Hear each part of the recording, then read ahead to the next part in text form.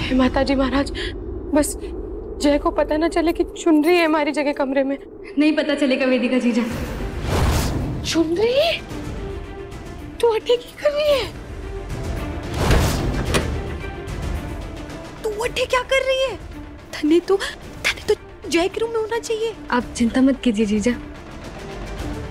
छोटे कुंवर साहब भी गहरी नींद में। इस तरह अपनी इच्छा के खिलाफ जाकर अपनी भाभी से ब्याह किया है। अपने भाई की मौत के बाद में उनकी जिम्मेदारियाँ अपने कंधों पर ली। इन सब माहौल की घुटन को अपने दिल में दबा कर रखना आसान नहीं था। इसीलिए वो आज शराब भी कराए थे।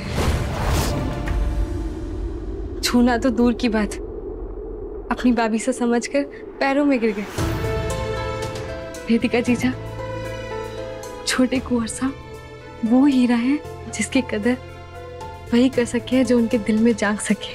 अरे वाह, एक दिन में अपनी बिंदरी इतनी तारीफ़ चलो माता जी महाराज का शुक्र है कि उन्होंने मुझे ये हक दिया कि मैं तुम्हें और जय को शादी के बंधन में जोड़कर तुम्हारा रिश्ता बना सकूँ। तो देखना, एक दिन जय खुद तुझे अपनी बींदी के रूप में स्वीकार करेंगे।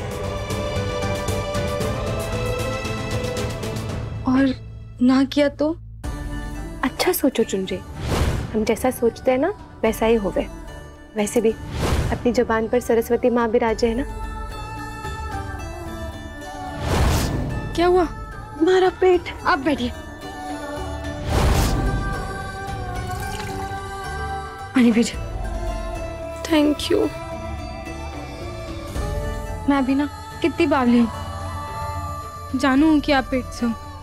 फिर भी आपको टेंशन देने वाली बातें कर रही हूँ। कोई बात नहीं। पर वेदिका जीजा ये तो खुशखबरी है ना। आप छुपा क्यों रही हैं? छोटे कोरसा हुकुम सा को पता चलेगा तो कितने खुश होवेंगे वो कि यश कोरसा की निशानी आ रही है। ये बात आज कही वापस कभी मत कहना। नमस्ते, मैं चुनरी। हमारी आगे की कहानी से जुड़ने के लिए सब्सक्राइब कीजिए हमारा यूट्यूब चैनल और देखिए हमारा शो दहेज दासी। सोमवार से शुक्रवार रात नौ बजे सिर्फ़ नज़ारा टीवी पर।